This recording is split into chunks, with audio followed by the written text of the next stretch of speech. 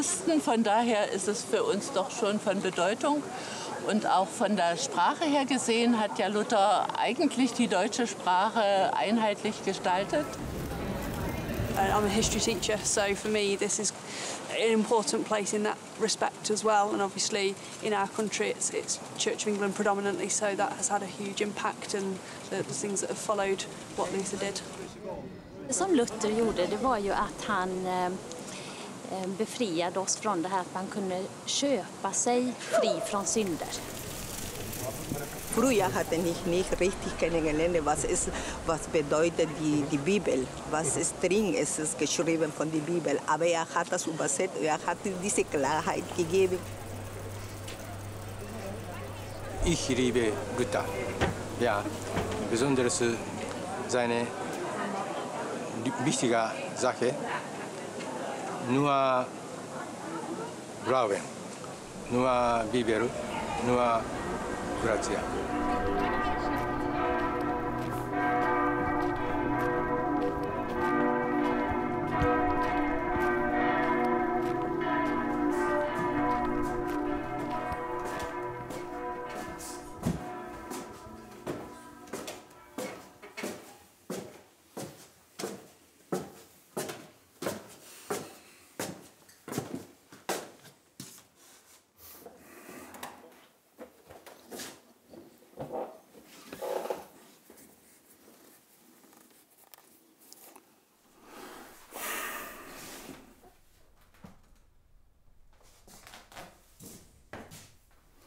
Kadangi tai yra istorinė asmenybė. Ir nu, reiktų visų pirma jį kažkiek pažinti. O apie medžiagą reikia ieškoti. Aišku, yra visagaris internetas, kur dabar galima daug surasti. Ir čia ir, yra svarbu, aišku, ir portretas.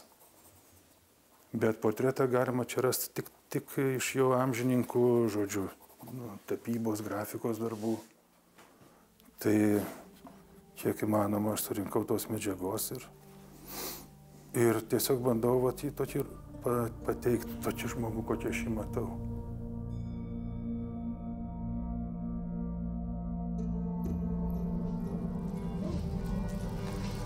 1517 m. spalio 31 d. vienuolis teologas Martynas Liuteris prie Wittenbergo bažnyčios durų prikala 95 tezes, kuriomis skatina pradėti atvirą diskusiją apie Romos bažnyčią apėmusias negerovės ir pasisako prieš nuodėmio atleidimo raštų indulgencijų platinimą.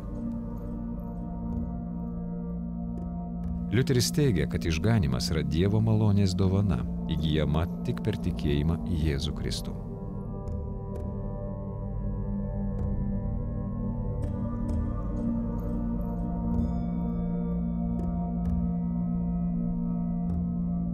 Paskelbęs 95 tezes ir pirmosius teologijos darbus, Martinas Liuteris sulaukė Romos popiežiaus reikalavimo atsisakyti savo skelbiamų idėjų. O jei ne, būsės ekskomunikuotas kaip eretikas. 1521 metais jis iškviečiamas į Wormso Reichstagą pasiaiškinti jaunajam imperatoriui Karoliui V. Čia visų Vokietijos kunigaikščio akivaizdoje, rodydamas į Bibliją, ištarė savo garsėją frazę – Aš stoviu čia, kitaip negaliu. Te padeda man Dievas. Ekskomunikuotas ir paskelbtas už įstatymo ribų, Liuteris priverstas slapstytis Vartburgo pilyje, Junkerio Jorgo vardu. Vokietijoje paplinta įvairios Liuterio minčių interpretacijos ir prasideda neramumai, išaugę į valstiečių sukilimą. Suprasdamas, kad be šventojo rašto pažinimo gimtaja kalba jos kelbiamos mintis neduos vaisių, Martinas Liuteris parengė Naujojo testamento vertimą į tuo metu praščiokų kalbą vadintą vokiečių kalbą. Tai tampa modernios vokiečių kalbos pradžia ir pavyzdžių kitoms tautoms. Vėliau sugrįžęs į Wittenbergą, Liuteris parengė mišes ir katekizmus, įspausdina Bibliją gimtają kalbą, sukuria gausybę teologinių darbų. Liuteris su savo artimiausiu bendražygiu teologu Filipu Melanchtonu Wittenbergo universitete rengė teologus, suformuoja švietimo sistemą, kuri remiasi šventojo rašto pažinimu, tikėjimu ir išganimo malonė. Martino Liuterio idėjos netrukus paplinta ir kitose šalyse. Europą sujudina reformacija.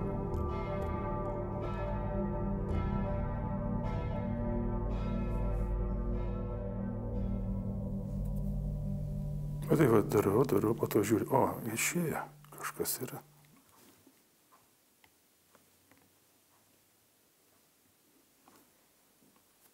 Kiek tai pavyks, nepavyks, aš tikiuosi, kad pavyks.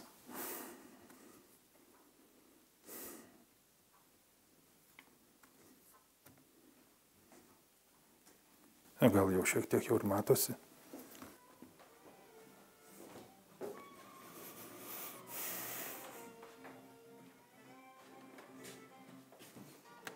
Aišku, keičiant, didinant, tai viskas truputėlį keisis, bet, bet esmė tai yra tas tikras beveik paveikslas.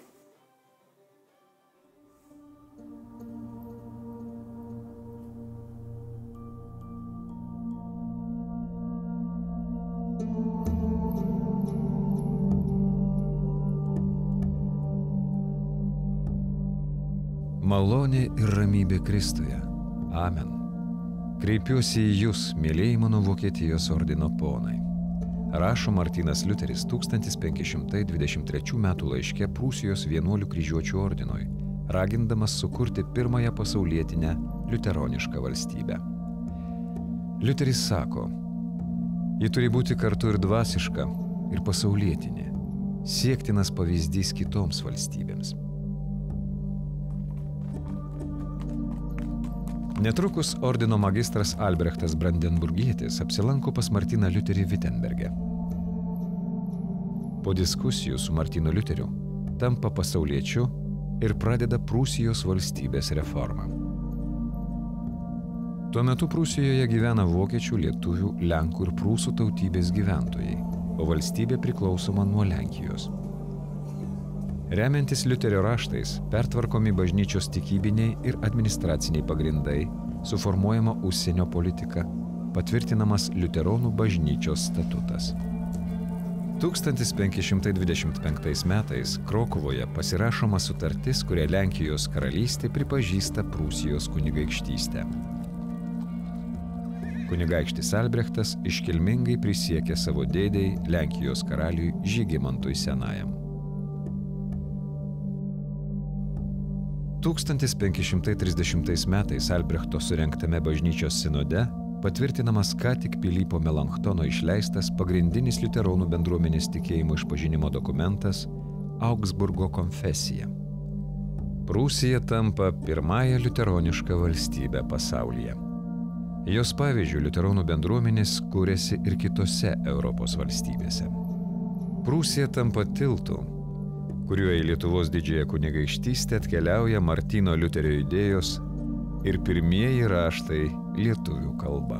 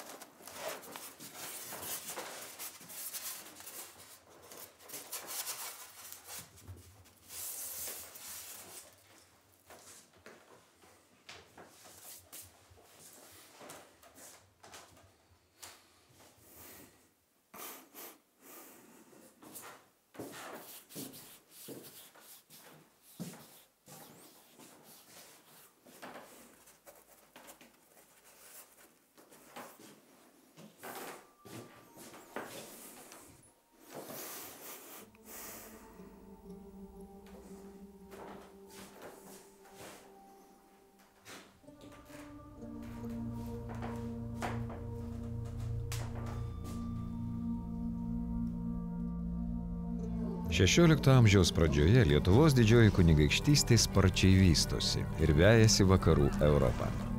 Vilnius tampa priekybos ir kultūros centru, kuriame prasidėjus valdovų rūmų statyboms dirba meistrai iš visos Europos.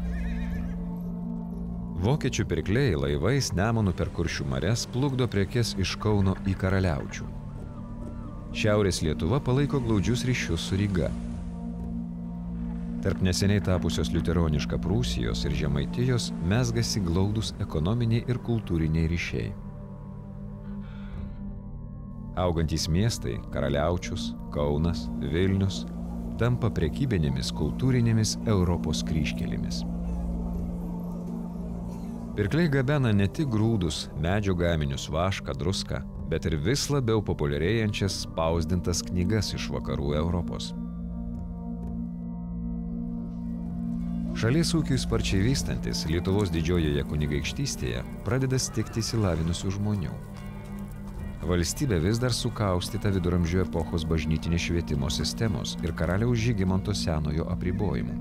Todėl didikai savo dvaruose patys moko gabę jaunuomenę ir siunčia studijuoti į Europos universitetus. Po studijų jaunuoliai grįžta į Lietuvą kupini naujų, vakarų Europoje plintančių idėjų.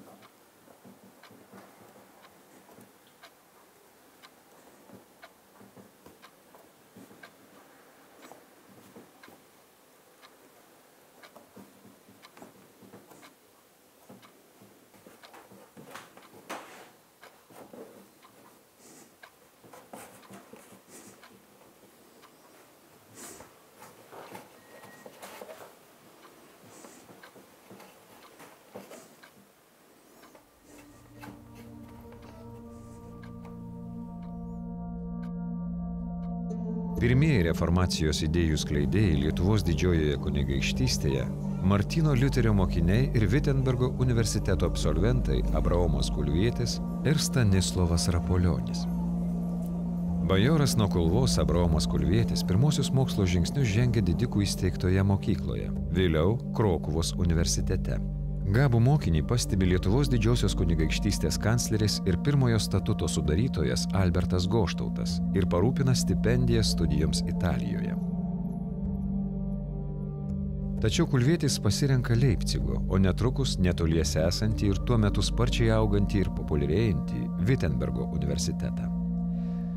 Abraomas Kulvietis - pirmas studentas iš Lietuvos apsilankęs Martino Liuterio ir Pilypo Melanktono paskaitose.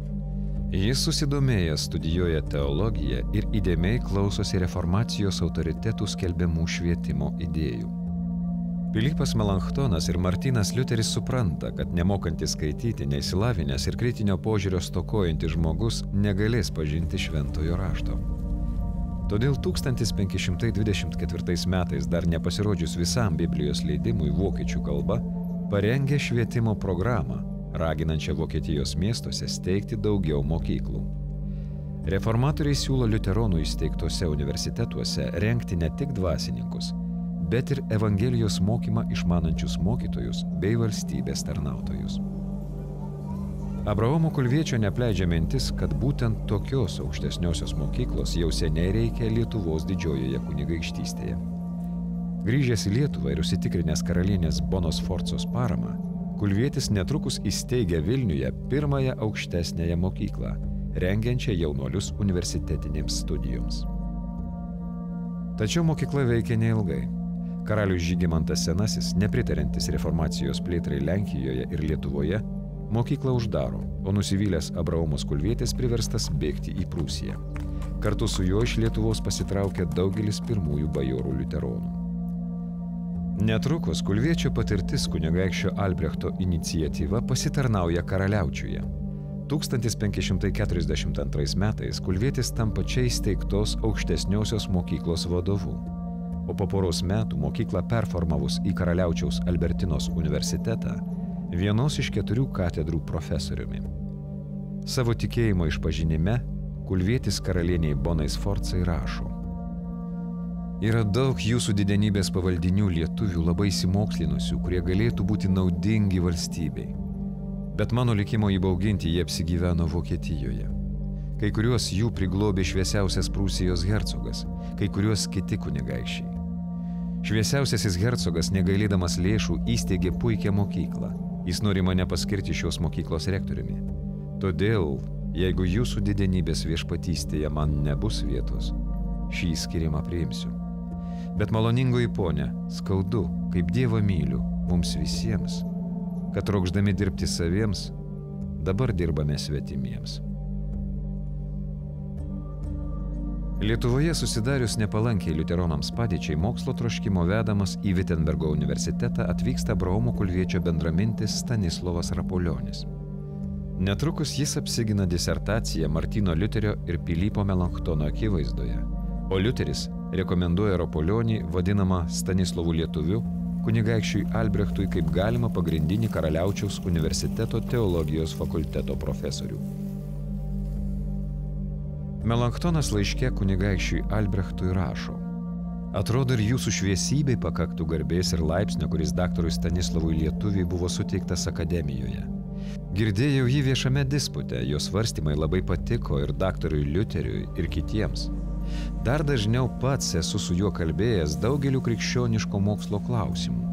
Mačiau ir jo raštus bei įsitikinau, kad jis teisingai suvokė bažnyčios mokslą, geba puikiai kalbėti ir išdėstyti, ką mano. Tuometinis Karaliaučiaus universitetas, jau tapęs pagrindinė viso regiono aukštąją mokyklą, net populiaresnė už garsų į Krokuvos universitetą. Kulvietis ir Rapolionis šiame universitete skleidžia reformacijos pradininkų Liuterio ir Melanktono idėjas bei mokymą. Karaliaučiaus universiteto absolventai studijuojant įgytas žinias įprasmina savo darbuose. Kunigai rengia katekizmus ir Biblijos vertimus. Profesoriai svarbius teologinius veikalus. Netikėta ir staigi abiejų vyrų Abraomo Kulviečio ir Stanislovo Rapolionio mirtis vėlyvą 1545 m. pavasarį pristabdo liuteronų idėjų ir švietimo plėtrą Lietuvoje. Apie jų darbų reikšmę byloja epitafija ant Rapolionio kapo, esančio greta kunigaiščio Albrechto amžinojo poilsio vietos karaliaučiuje. Čia guli didis vyras - lietuvių tautos garbė.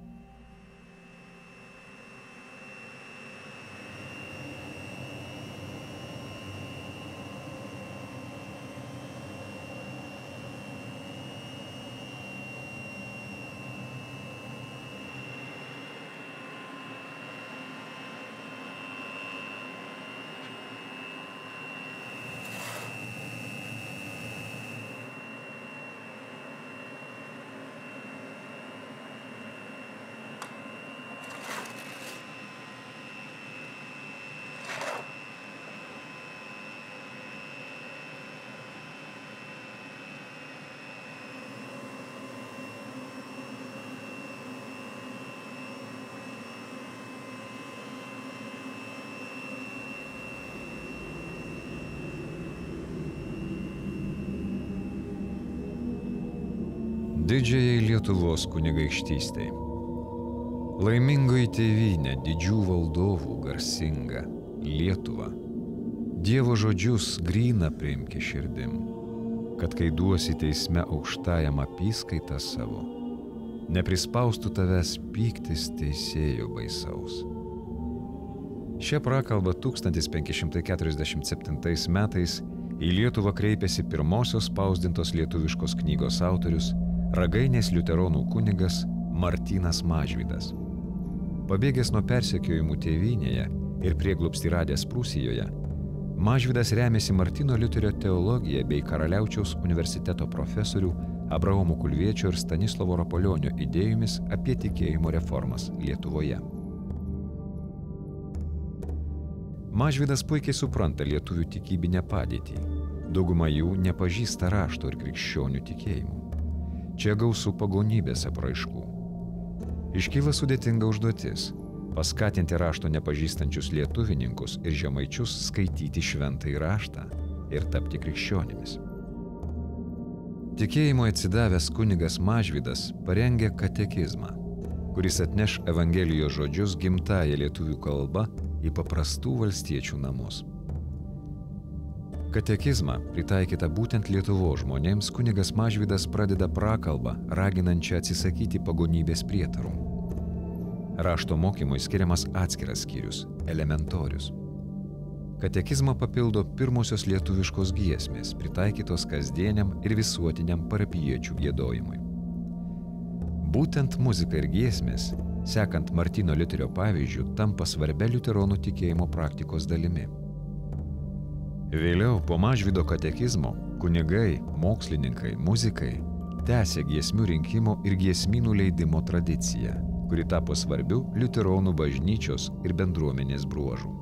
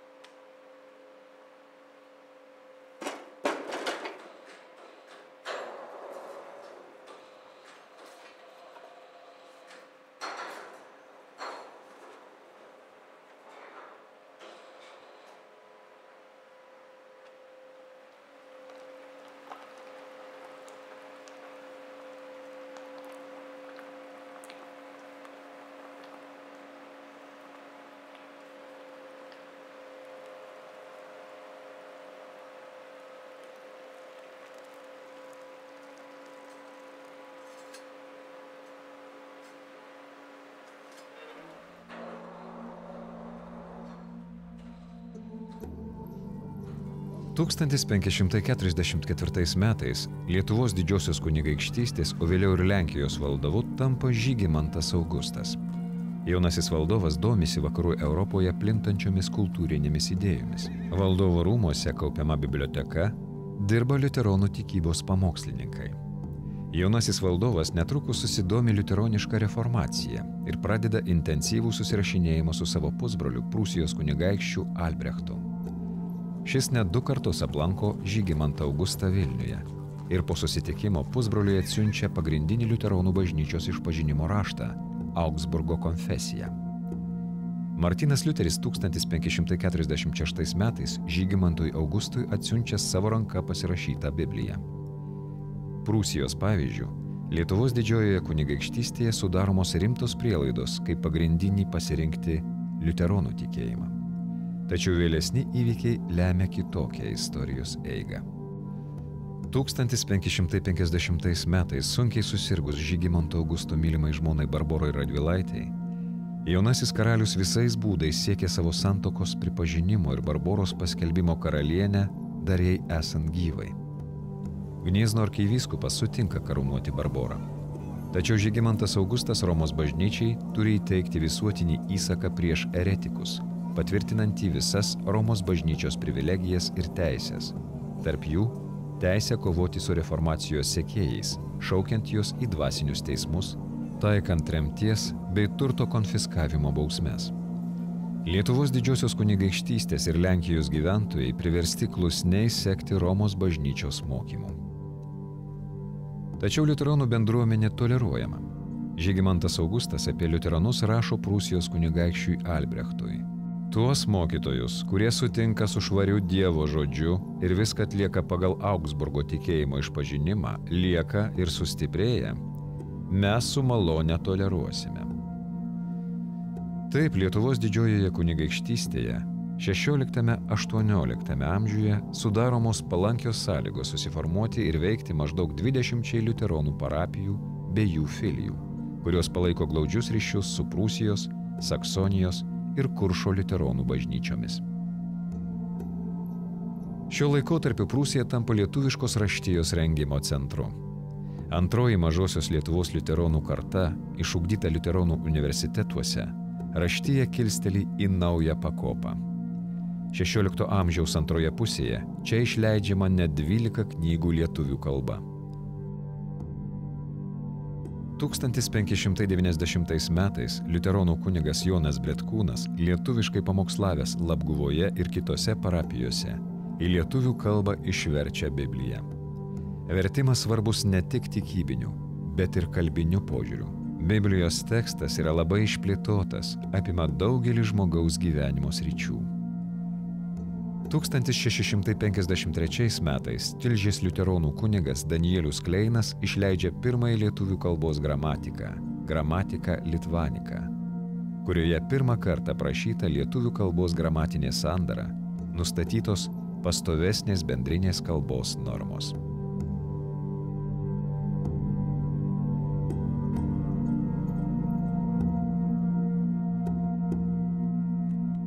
Tuo tarpu Žygimanto vazos valdymo metu Lietuvoje ir Lenkijoje ypač sustiprėja kontrreformacija. Netolerancijos laikotarpis tęsiasi iki 1775 metų, kai Lietuvos didžiojoje kunigaikštystėje atkuriamos reformacijos sekėjų protestantų teisės ir privilegijos. Liuteronų bažnyčia Lietuvoje pirmą kartą susivienyje į bendrą sinodą biržuose su konsistorija Vilniuje.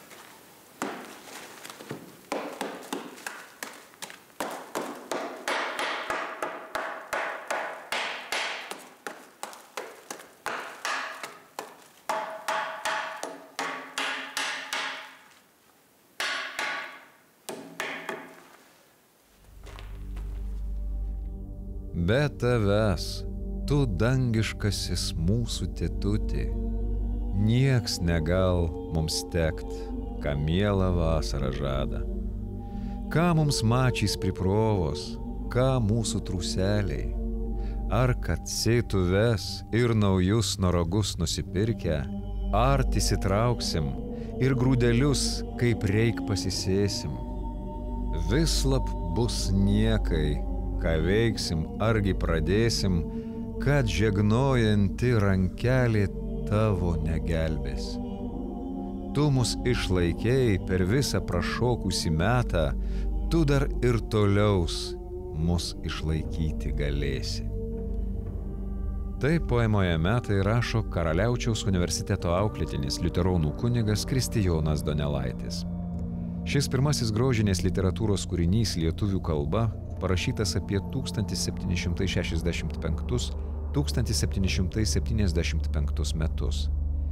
Kunigas Kristijonas Donelaitis, gyvenantis tarp paprastų rytų Prūsijos valstiečių lietuvininkų, aprašo jų gyvenimo rūpeščius, negandas, pasaulyje žiūrą ir žmogaus gyvenimo prasme, besisukančiame metų rate. Poemos herojai ir jų mintys atspindi to laiko tarpio liuteronų bendruomenės gyvenimo įvykius ir negandas. 18 amžiaus pradžioje Lietuvoje ir Prūsijoje praūžusi maro epidemija nusineša daug gyvybių. Gerokai sumažėja lietuviškai kalbančių parapijų. Tuo metu, kai būsimasis kunigas Kristijonas Donelaitis mokosi Karaliaučiaus universitete, kunigaikštis Vilhelmas I iš Zalzburgo, Austrijos, į Prūsiją pasikviečia dėl tikėjimo ištremtus asketiškus pamaldžius liuteranus, dar vadinamus pietistais. Atvykėliai gyventojai suformuoja naują vietos gyventojų lietuvininkų pasaulyje žiūrą, kuri vėliau išauga į liaudės surinkimininkų judėjimą. Vykstant septyniarių metų karui tarp Rusijos ir Prūsijos, į Prūsų Lietuvą įsiveržė Rusijos kazokai, plėždami ir žudydami nespėjusius pasitraukti gyventojus. Tuo metu Tolminkiemio parapijoje dirbantis Donelaitis su parapiečiai slėpdamasis Romintos girioje rašo O palikuonys, ar be įsivaizduojate jūs, ką tada Dievas užleido ant Prūsijos ir kaip įsigelbėjo tie, kurie dievų pasikliovė? 1818 metais iš kuršių nerijos kilęs liuteronų kunigas, Prūsijos lietuvių visuomeninis veikėjas profesorius Liudvikas Rėza suranda ir įspausdina Kristijono Donelaičių metų rankraštį. Poema metai, vėliau išversta į daugelį užsienio kalbų, tampa ne tik lietuvių, bet ir pasaulinės literatūros šedevro.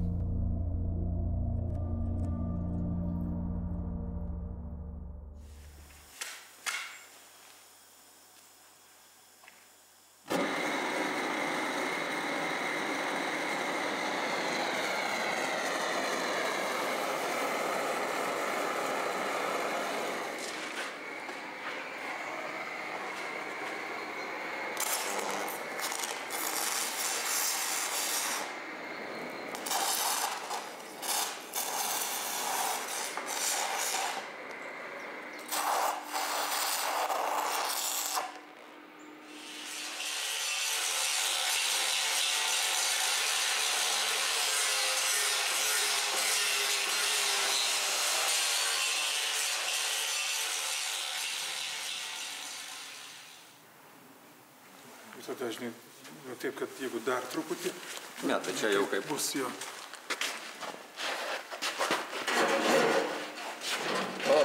Biblija va taip. Va taip, va. dar. Va, Va taip, viskas. pagal tą. Jo, ir va, jisai jau šiek tiek tada. Viskas.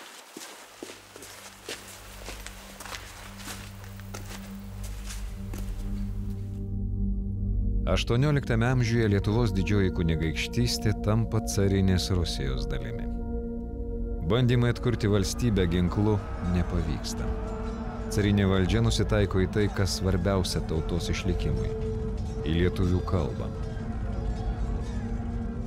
Prasideda spaudos draudimo metai, kurie bendram lietuvybės įsaugojimo tikslui suvienyje katalikiškos didžiosios ir liuteroniškos mažosios Lietuvos gyventojus bei padeda pamatus vėlesniam valstybės atkūrimui. Mažojoje Lietuvoje, kur aštyje ir spauda lietuvių kalba jau turinti gilę tradiciją ir paveldą, nepaisant vykstančios germanizacijos, Lietuvių kalbos gyvybingumas sudaro sąlygas spausdinti ir gabenti į didžiąją Lietuvą lietuvišką žodį lotiniškais rašmenimis. Martino Jankaus spaustuvėje Bitėnuose rengiamas ir spausdinamas laikraštis Aušra ir kiti leidiniai.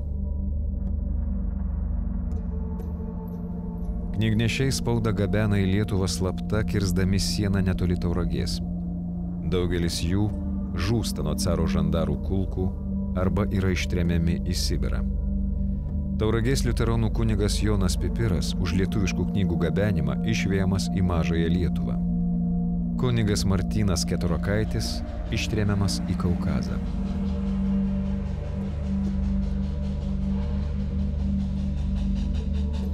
Tauragėje surašytuose aktuose caro žandarai užfiksuoja knygnešystės mastą. 1872 metais konfiskuotos 1096, 1892 metais 1006 knygos ir laikraščiai, kartais ištisi knygų vežimai.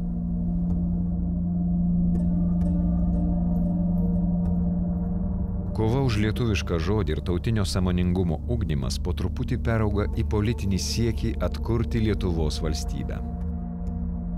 1918 m. vasario 16 d.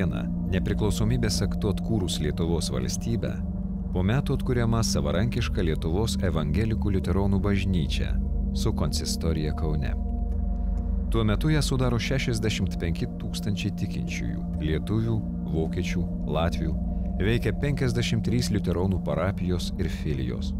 1923 metais prie didžiosios Lietuvos prijungus Klaipėdos kraštą galutinai suformuojama moderni valstybė, kuri sujungia liuteroniškos mažosios Lietuvos ir katalikiškos didžiosios Lietuvos tikybinį paveldą. Lietuvoje tuo metu gyvena 193 tūkstančiai liuteronų, sudarančių be maž dešimtadalį visų gyventojų. Veikia 84 parapijos. Vytauto didžiojo universitete Kaune įkūriamas Evangeliškosios teologijos fakultetas, steigiamos mokyklos, organizacijos, spausdinami leidiniai. Liuteronė rašytoja Evė Simonaitytė šiuo laikotarpiu rašo Esame viena žemė, viena tauta, viena Lietuva.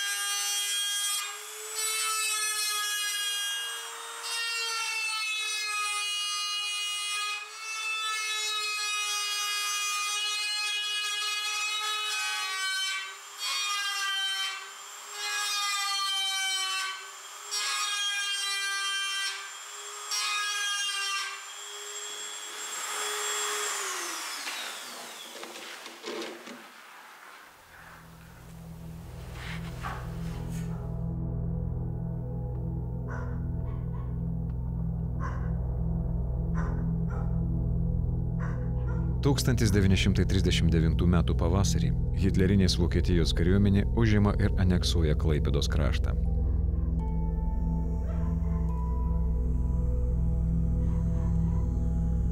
TSRS ir Trečiajam Reichui pasirašius slaptuosius Ribbentropo Molotovo protokolus, Raudonoji armija užima Lietuvą. Antrasis pasaulinis karas ir sovietinės represijos Lietuvoje itin skaudžiai paliečia evangelikų liuteronų bendruomenę. Prasideda persekiojimai, uždaroma daugelis organizacijų, uždraudžiamos krikščioniškos šventės, uždaromos bažnyčios.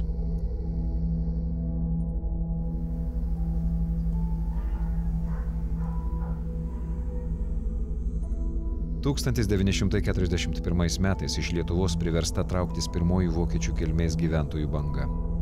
Vokiečiai liuteronai, kurių protėviai Lietuvoje gyveno beveik 500 metų, turi palikti Lietuvą.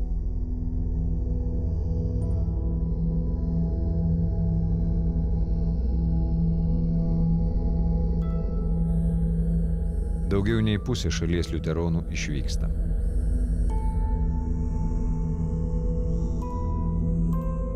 Hitleriniai Vokietijai okupavus Lietuvą, nacijų režimas kelbėsi toleruojantis religijos laisvę. Krikščionybė nesuderinama su nacionalsocialistų ideologija, tačiau persiokyti bažnyčių kol kas nesiryštama. Lietuviai ir Latviai laikomi atsilikusiomis tautomis, todėl melstis bažnyčiose jiems netrukdoma. Tačiau kėdainių kunigui Pauliui Titelbachui, pabandžius įkurti savarankišką vokiečių liuteronų bažnyčią Lietuvoje, įsikiša nacijų saugumas. Išvykusiems vokiečių tautybės kunigams neleidžiama grįžti į Lietuvą, o jau grįžusiems Kėdainių kunigui Titelbachui ir Panevežio kunigui Hiršui visai trukdoma atlikti bažnytinės apeigas. 1942 metais į Lietuvą grįžusiems vokiečiams draudžiama lankytis lietuviškose liuteronų pamaldose. 1944 metais Raudonajai armijai artėjant prie Lietuvos, baimindamiesi sovietinių represijų, Kartu su besitraukiančia hitlerinės Vokietijos kariuomenė traukėsi ir liuteronai. Karo pabėgėliai iš Lietuvos vakaruose įkūrė Lietuvių evangelikų liuteronų bažnyčią išeivijoje, kuri suvienijo apie 30 tūkstančių tikinčiųjų.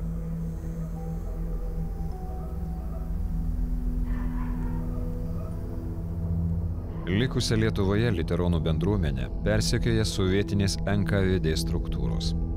1944 m. pabaigoje Maskva išleidžia direktyvą, nurodančią ištremti Lietuvos vokiečius. Liuteronų tikėjimas tampa pretekstu tremčiai į Sibirą.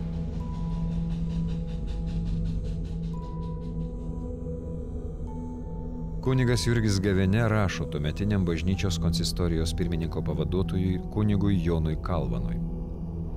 Visi išvežtieji yra lietuviai, gryni lietuviai, pagal dokumentus ir kalbą, nieko nenusikaltę.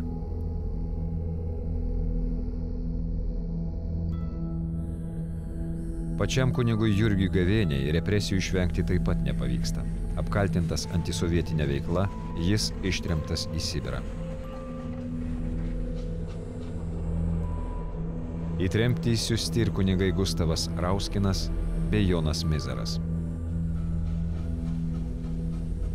1949 metais vietiniams sovietų pareigūnams ketinant uždaryti Joniškio ir Skaudvilės liuteronų bažnyčias, bažnyčios konsistorijos pirmininkas kunigas Erikas Leijeris įsiunčia laišką kreipimąsi komunistų partijos generaliniam sekretoriui Josifui Stalinui. Bažnyčios trumpam sugražinamos liuteronams, tačiau kunigas Leijeris suimamas ir ištrėmiamas į Sibirą, iš kur negrįžta.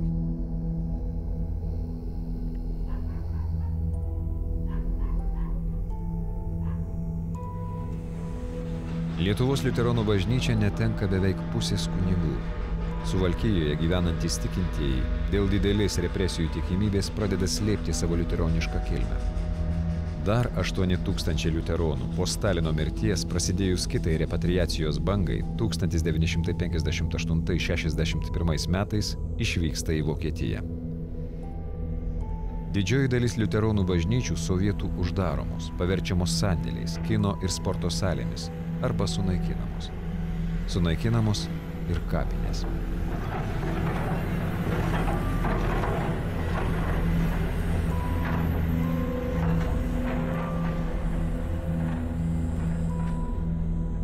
Iš 87 Lietuvoje veikusių liuteronų bažnyčių lieka tik 27. Iš bendruomenės, kuri prieškariu sudarė dešimtadalį valstybės gyventojų, išlieka maža tikinčiųjų bendruomenė - tik vienas procentas. Sovietų valdžia padaro viską, kad Lietuva netektų bendruomenės, kuri padovanojo pirmąją lietuvišką knygą - Biblijos vertimą, gramatiką, pirmąjį lietuvišką grožinės literatūros kūrinį.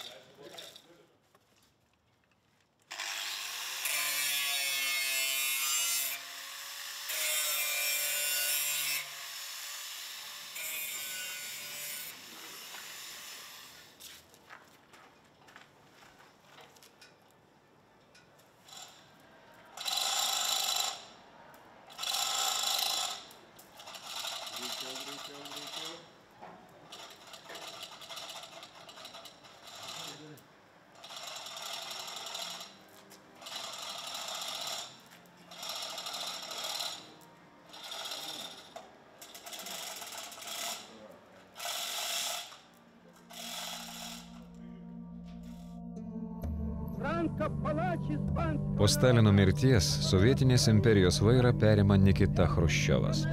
Sovietų valdžia tiesioginių represijų strategiją keičia sisteminę komunizmo propagandą.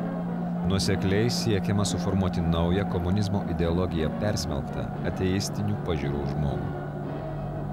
Ateizmas pradedamas brukti nuo pirmųjų mokyklos klasių. Žmogus turi sutelkti savo viziją ne į Dievą, o į greitą komunizmo pergalę Žemėje. Hruščiovas paskelbė, kad ateistinis komunizmas bus visiškai gyvendintas 1980 metais ir pažada per televiziją parodyti paskutinį išlikusį kunigą. Bažnyčia tampa kliuviniu įgyvendinti komunizmo ideologiją. Prasideda nauja persekiojimų banga.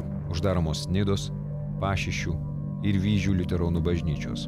Didžiuosiuose miestuose bažnyčios uždaromos arba sunaikinamos.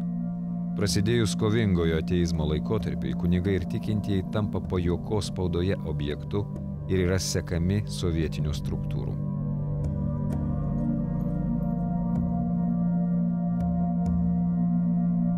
Didžiausioje Tauragės liuteronų parapijoje tarnaujantį kunigą Joną Kalvaną seka ir provokuoja net 24 KGB agentai ir informatoriai, laukdami net menkiausios kunigo klaidos.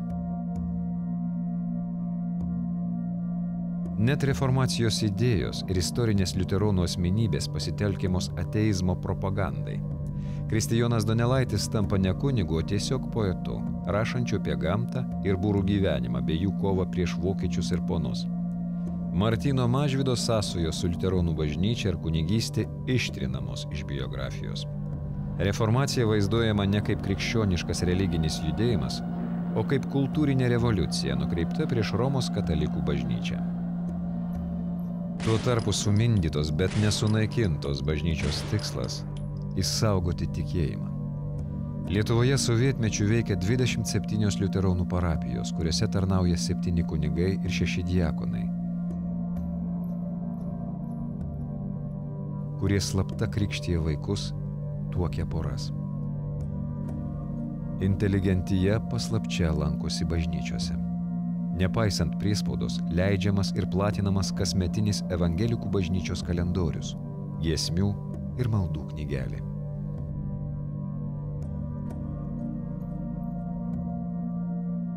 Tūkstantis 1955 metais Kretingoje įvyksta pirmasis pokarinis Lietuvos evangelikų liuteronų bažnyčios sinodas, kuriame patvirtinamas bažnyčios statutas, kuris reguliavo bažnyčios gyvenimą sovietiniu laikotarpiu. Suformuojama bažnyčios konsistorija. Suprasdami, kaip svarbu sovietinio persikėjimo akivaizdoje išlaikyti krikščionių vienybę, konsistorija ir kunigai palaiko glaudžius santykius su katalikų ir stačiatikių bažnyčiomis. 1965 metais Šilutėje surengiamos pirmosios Lietuvoje ekumeninės pamaldos, kuriuose dalyvauja liuteronų arkiviskupai iš Latvijos ir Estijos, ekumeniniai svečiai iš Lietuvos katalikų, stačiatikių ir kalvinistų bendruomenių. Siekiant užtarimo vakaruose netrukus žengiamas dar vienas svarbus žingsnis 1968 metais Lietuvos evangelikų liuteronų bažnyčia įstoja į pasaulinę liuteronų federaciją. Atsiveria galimybė pranešti apie save pasauliui už geležinės uždangos. Bažnyčios konsistorijos pirmininkas Jonas Kalvanas dalyvauja Pasaulio liuteronų federacijos asamblėjoje Vengrijoje, kurioje pradedama kalbėti apie karo metu ir sovietmečių nukentėjusias liuteronų bažnyčias. Mūsų maža bažnyčia galėjo patirti, kad priklauso vienai dideliai pasaulio liuteronų šeimai, rašo jis. Bažnyčia sustiprina ir tai, kad 1976 metais Jonas Kalvanas išventinamas pirmojų Lietuvos evangelikų liuteronų bažnyčios vyskupu. Lietuvos liuteronai tampa matomi pasauliui. Pavyksta įsaugoti tikėjimą. Bažnyčia tampa vieninga ir susitelkusi. Vėliau vyskupas Kalvanas prisimindamas šį laikotarpį rašo. Martino Liuterio 400 metų mirties jubiliejus proga išgyvenusių naujai įregistruotų Lietuvos liuteronų bažnyčių varpai skambėjo žodžiais - nemirsiu, bet gyvensiu ir skelbsiu viešpaties darbus.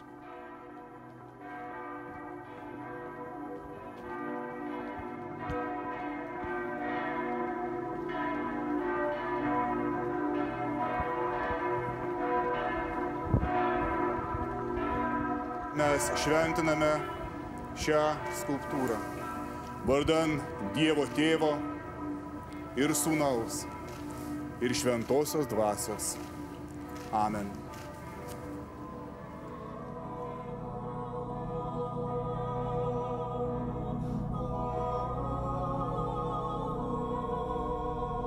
Sovietų imperija griūva, palikdama geležinės uždangos dulkės. 1990 m. kovo 11 d. atkūrus nepriklausomybę, Lietuvos liuteronų bažnyčiai taip pat prasideda atgimimo metas. Metas be baimės. Metas atstatyti ir kurti. Metas ir vėl, pasitikint Dievo malonę, skelbti Evangelijos žodį. Išgyvenusi sovietinės represijas, liuteronų bendruomenė išlieka didelį kultūrinį palikimą menanti, tačiau itin maža religinė bendruomenė. Sovietinė propagandos mašina iš atminties jau beveik ištrynė per 500 metų sukauptą religinį ir kultūrinį Lietuvos liuteronų palikimą, kurį atkurti užtruks daugybę metų. Išaugusi ketvirtoji liuteronų jaunuolių karta, baigusi studijas Klaipėdos universiteto teologijos katedroje bei įvairiuose pasaulio universitetuose, papildo kunigų gretas. Nebereikia bijoti ir slepiantis tuoktis, krikštyti vaikus, mokyti juos katekizmo ir evangelijos. Galima pakiliai švesti Kalėdas ir Velykas. Mokyklose vaikams pradėta dėstyti liuteronų tikybą. Vystoma jaunimo veikla, veikia muzikinės organizacijos chorai, leidžiamos knygos ir leidiniai. Mažoji liuterio bendruomenė tęsė savo žemiškąją kelionę Lietuvoje su šventuoju raštu, tikėjimu ir Dievo malonę.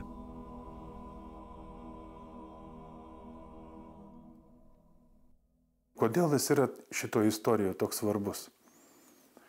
Ir tai yra jo tikėjimas, pirmas dalykas, ką jis įrodo, jis rodo į kryžių ir jo, jo nešama žinia šitoj Biblijai.